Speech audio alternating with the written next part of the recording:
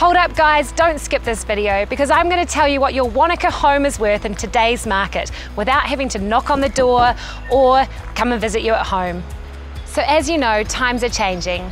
One, interest rates are at a record lows and as a result, there are more Kiwis looking to buy property.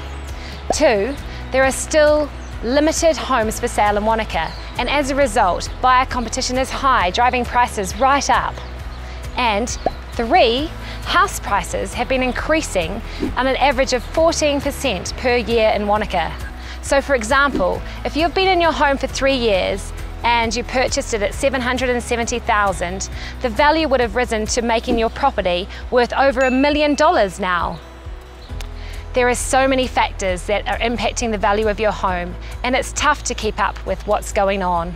So this is why for a limited time, we're offering you a free service and that is we will tell you what your property may be worth in today's market and what nearby properties have been selling for around you.